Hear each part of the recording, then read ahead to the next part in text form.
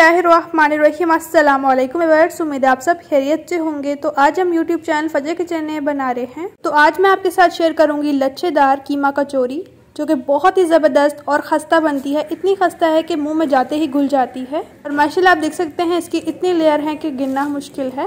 Recipe को आपने full watch करना है, मुकम्मल आपको गाइड करूँगी। तो अब चलिए बहुत ही ज़बरदस्त लच्छेदार कचौरियाँ बनाना स्टार्ट करते हैं। रेसिपी स्टार्ट करने से पहले छोटी सी रिक्वेस्ट लाल सब्सक्राइब बटन को क्लिक कीजिए, साथ दी गई बेल आइकन को प्रेस कीजिए ताकि मेरी मदर रेसिपी का नोटिफिकेशन आप भी पा सकें। शेयर एंड थम्स अप दीजिए। बिस्मिल्लाहिर्रहमानिर्रहीम कीमा कचौरी बनाने के लिए यहाँ पर लेंगे वन कप मैदा और यहाँ पर मैंने मेज़रमेंट कप यूज़ किया है। आप किसी भी चीज़ से मेज़रमेंट कर सकते हैं। और अब इसमें ऐड करेंगे फोर टेबल स्पून घी।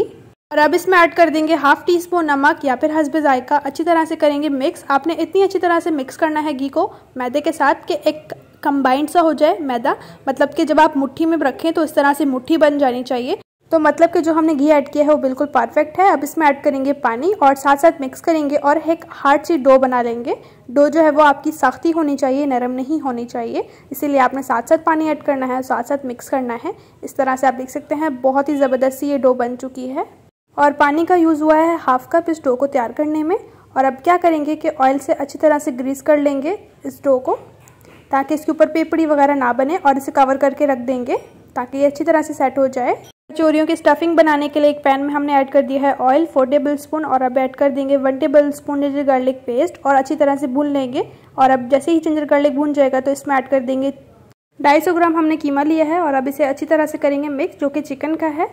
अब इसे इतना फ्राई करेंगे कि जब तक कीमे का कलर चेंज नहीं हो जाता, अब कीमे का कलर हो चुका है चेंज और आप देख सकते हैं कीमे ने पानी भी छोड़ दिया है और अब इसमें मजीद हमने हाफ़ कप पानी ऐड किया है और अब इसमें ऐड कर देंगे कुछ स्पाइसेस हाफ़ टेबल स्पून कुछ धनिया पिसा हुआ और हाफ़ टेबल स्पून भुना पिसा गर्म मसाला और half teaspoon black pepper अच्छी तरह से मिक्स करेंगे और इसे हम भून लेंगे जब तक कि ये पानी ड्राई नहीं हो जाता। हल्का सा पानी ड्राई हो चुका है तो इसमें ऐड कर दिया हमने एक मीडियम साइज़ का प्याज जिसे हमने चॉप किया है। अच्छी तरह से मिक्स करेंगे। अब इसके साथ ही हम ऐड कर देंगे दो अदद अंडे, और सेंटर में पहले आपने ऐड कर देना है टू टेबल स्पून ऑयल, और इस तरह से हमने दो अदद अंडे फ्राई कर लेने हैं।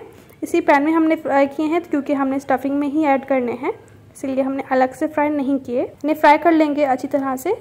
कीमे में जो पानी था वो अच्छी तरह से हो चुका है ड्राई, और इसमें ऐड कर देंगे one tablespoon chilli sauce, और ऐड कर देंगे मुट्ठी भर हरा धनिया और अच्छी तरह से करेंगे मिक्स। और अब इस स्टेज पर हम फ्लेम को ऑफ़ करेंगे, क्योंकि कीमे की स्टफिंग बिल्कुल तैयार है, और इसे ठंडा करने के लिए रख देंगे। और इस तरफ़ जो हमने डो को सेट करने के लिए रखा था, कवर ऊपर से रिमूव करेंगे और इस तरह से माशाल्लाह आप देख सकते हैं कितनी ज़बरदस्त ये डो सेट हो चुकी है।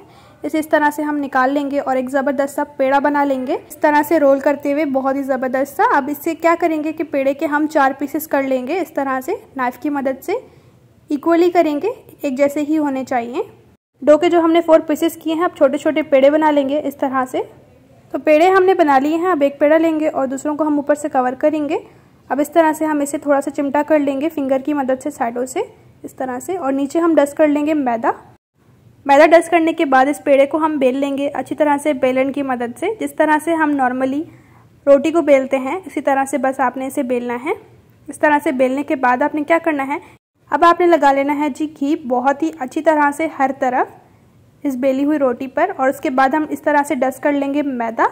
इसे भी आपने हर तरफ़ अच्छी तरह से डस्ट करना है। कोई भी जगह या कोई भी कॉर्नर नहीं रहना चाहिए।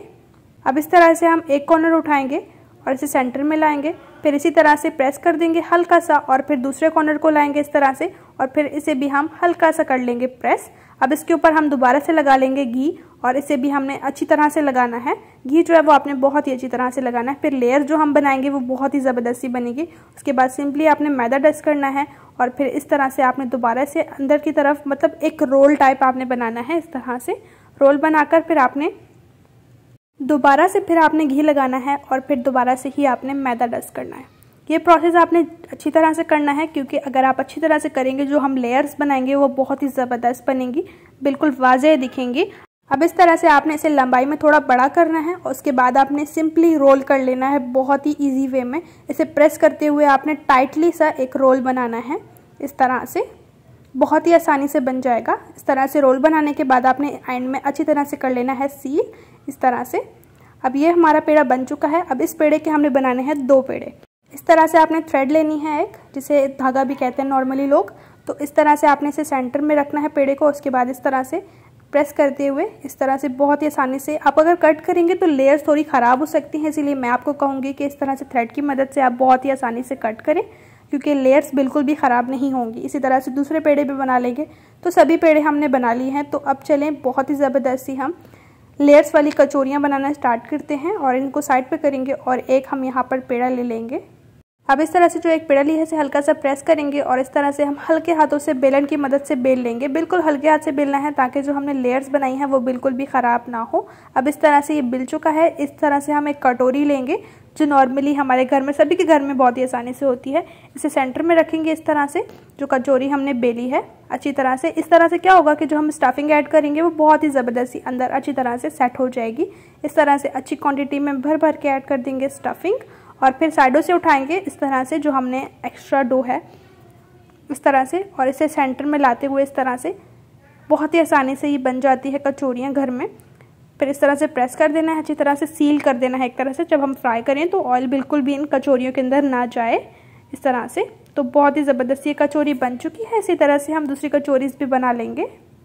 इसमें रहीम कचोरी इसको फ्राई करने के लिए हमने कढ़ाई में ऑयल लिया है और ऑयल को बिल्कुल हमने हल्का सा गर्म किया ज़्यादा गर्म नहीं करना, बिल्कुल हल्का सा। बस इतना कि बस आप फिंगर टच कर सकें। बस ज़्यादा ऑयल गर्म नहीं करना, वरना जो हमने लेयर्स बनाई हैं, वो ज़्यादा क्रिस्पी नहीं होंगी, ठीक है? तो ये बात का आपने ध्यान रखना है कि ऑयल ज़्यादा गर्म नहीं होना चाहिए। कचोरीज हमने ऐड कर दी हैं फ्राई करने के लिए। और आप देख सकते हैं, पहले जब हमने कचोरीज ऐड की थी फ्राई करने के लिए तो बिल्कुल भी बबल्स नहीं आ रहे थे। मतलब कि ऑयल गर्म नहीं था।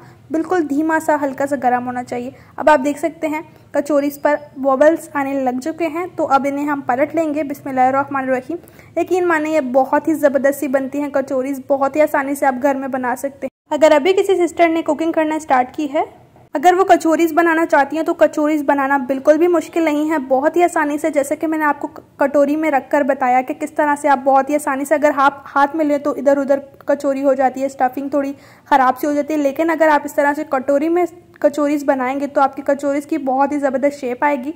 अब माशाल्लाह आप देख सकते हैं, इन पर प्यारा सा, खूबसूरत सा गोल्डन कलर आना शुरू हो चुका है।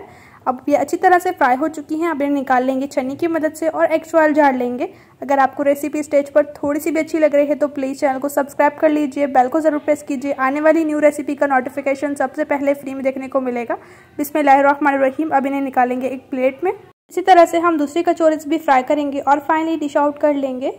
तो माशाल्लाह सुबहान अल्लाह बहुत ही ज़बरदस्त और मज़ेदार कीमा कचौरी इसको हमने डिश आउट कर लिया है। माशाल्लाह, आप देख सकते हैं कितनी लच्छेदार बनी है, कितनी ज़बरदस्त। यकीन माने, इतनी ज़बरदस्त है कि मुँह में जाते ही ये घुल जाती आपने भी इन लच्छेदार कीमा कचौरीज को ज़रूर ट्राई करना है। बहुत ही ज़बरदस्त बनती हैं। यकीन माने, बच्चे तो ज़्यादा शौक से खाएँगे, क्योंकि बच्चे अक्सर लच्छेदार पराठे बहुत ज़्यादा शौक से खाते हैं तो ये भी एक तरह से लच्छेदारी हैं, जो कि बहुत ही ज़बरदस्त टेस्ट के साथ इसके अंदर जो हमने कीमे की स्टफिंग ऐड की है, वो बहुत ही ज़बरदस्त है। और कीमे में हमने एक न्यू भी टेस्ट दिया था, जैसे कि हमने अंडे ऐड किए थे, जो कि बहुत ही ज़बरदस्त लगेंगे खाने में। तो रेसिपी आपको कैसी लगी फीडबैक में ज़रूर बताइए। इंशाल्लाह एक न्यू रेसिपी के साथ भी मिलेंगे। अपना और अपने प्यारों का रखें, बहुत ज़्यादा ख्याल। थैंक्स फॉर वॉचिंग अला हाफिज़।